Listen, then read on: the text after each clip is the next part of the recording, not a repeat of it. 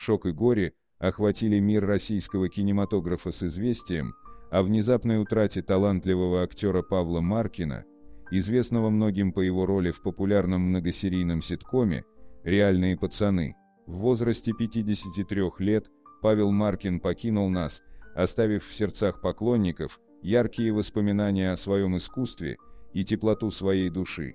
Информация о смерти актера пришла как гром среди ясного неба.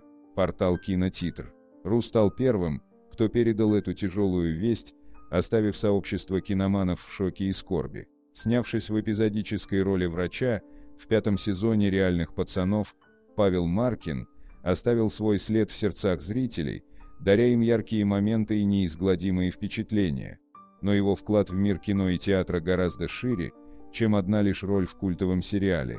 Начав свой творческий путь, еще в далеком 2000 году, Маркин прославился своим талантом и преданностью искусству. Он прокладывал карьеру на ТВ, с успехом снимаясь в многочисленных ситкомах, а также раскрывая свой талант на театральных подмостках драматических антреприз. Следует отметить, что Павел Маркин получил образование в престижной театральной школе Ролана Быкова, что лишь подчеркивает его профессионализм и преданность искусству. Его имя связано с такими знаковыми работами, как «Интерны», «Саша Таня», «Склифосовский», «Ивановы-Ивановы», «Серебряный бор», «Светофор», «Одиночество», «Поиски улик», «Полоса отчуждения» и многие другие.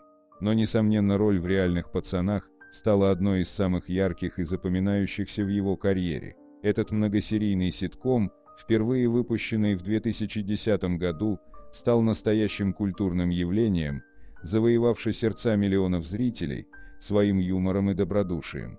Вместе с другими талантливыми актерами, среди которых Николай Наумов, Зоя Бербер, Антон Богданов и многие другие, Павел Маркин принес вклад в создание этой уникальной атмосферы, которая стала навсегда частью культурного наследия.